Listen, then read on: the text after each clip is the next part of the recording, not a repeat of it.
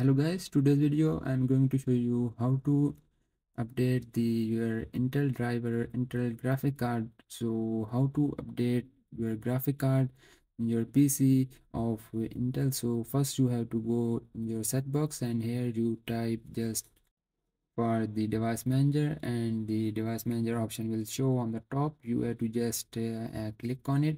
And here you can just maximize it. So i can maximize it so after this you will see there are many options but you can update all these.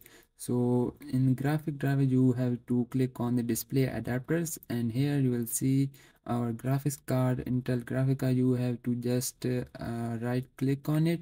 So i can right click on it and here you can see update driver option is coming. So you can just have to click on it.